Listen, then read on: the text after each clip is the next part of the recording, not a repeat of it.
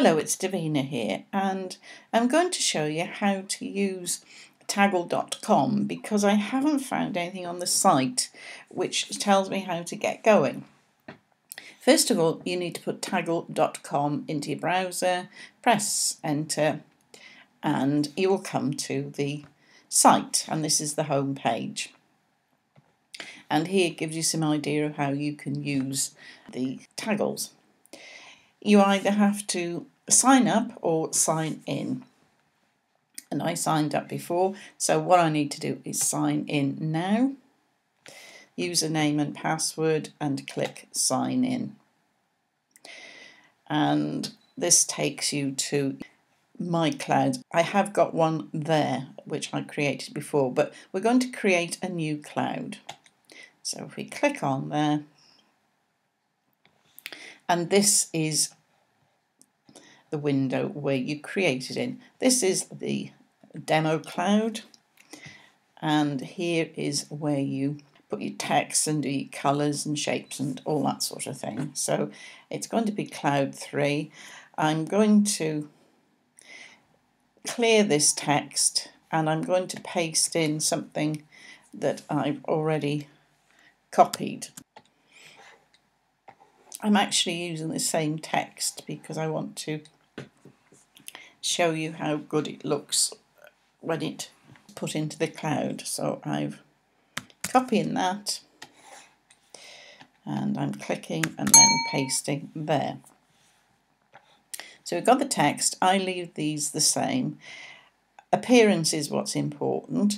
These are the different shapes that come with the program, but the exciting one is this one here, the custom shape. And you can use any shape that you've created. So if I go there and I got the bell that I've found and click open. And you want a, um, a reasonably good edge. If you move this here, uh, it's back to the original and I don't want that. Although it might be quite interesting to see. And that one, it's a little bit jagged. So that's what I want. Press OK. So we've got the bell. We need fonts. And I'm just very quickly going to click. We'll have that one. Uh, we'll have Heuristica and bold.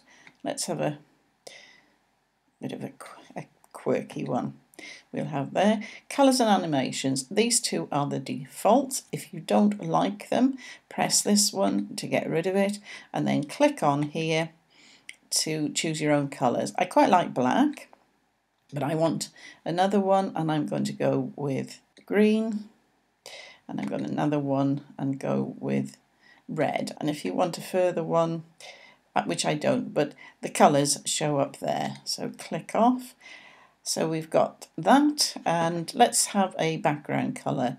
Come down here. Um, that, that's possibly quite good. The rollover box, that's that one there. And if you don't want to see it, then you move the slider.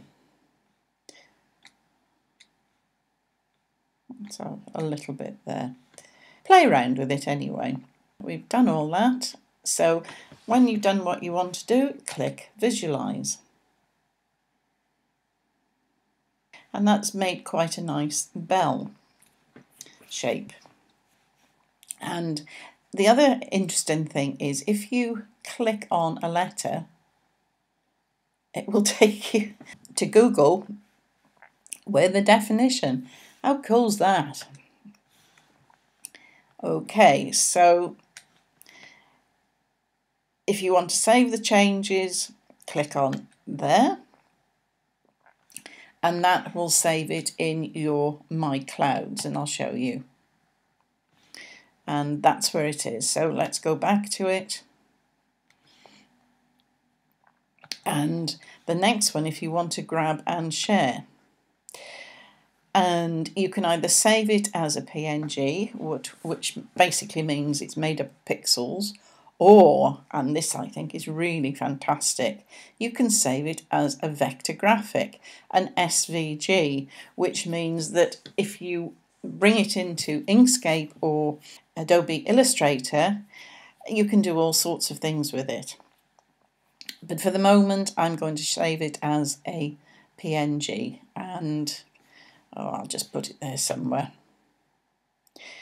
And that's how you use it. A great little piece of software. Bye bye for now.